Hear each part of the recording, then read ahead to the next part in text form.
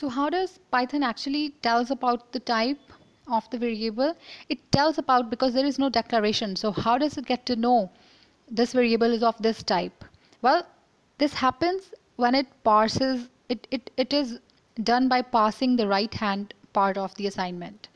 So as soon as you write a equals to 2, it gets to see the right hand side part and it will automatically know, okay, this is the amount of space that this variable requires because it is of type integer right? So this is um, one of the reasons you should always use assignment with your variables in Python.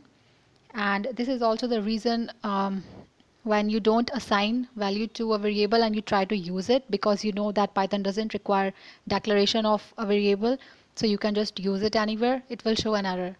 Because even though it doesn't require declaration it needs some means to know the memory space required by the variable and the type of operations that can be performed on the variable.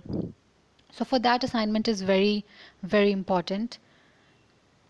And uh, another question was different type of prefix that can be used for octal, hexadecimal and binaries. So uh, this one also I have given in description, uh, but I'm providing you uh, some okay so okay yeah. So for octal you have to use for every uh, octal hexadecimal and binary you'll make use of 0 in the beginning. And then so uh, this prefix is of two characters I would say. Octal would be 0O hexadecimal would be 0x and binary would be 0b right? And uh, also they are all integer types okay? So if you for example write x equals to let's say 0x a b b a and you try to find its type it will be integer. Okay? And you can also use type checking.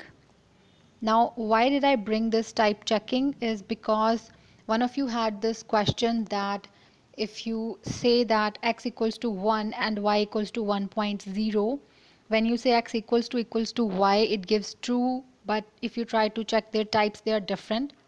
So let me tell you what. If I have x equals to 1 and y equals to 1.0 numerically yes they are equal. So when you write x equals to equals to y it will be true. Because you are not using assignment operator here. You are actually using comparison operator double equals to so that will actually give you some kind of result either true or false right? But when you use type checking you are making use of is operator and is operator actually checks the type of both variables.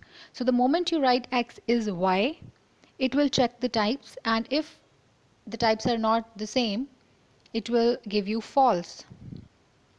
So this is one of the reasons why x equals to equals to y is true but x is y is uh, false because is operator is actually checking the type of both x and y. And when you say x equals to equals to y they are only comparing the values. And uh, yes they both have numerical values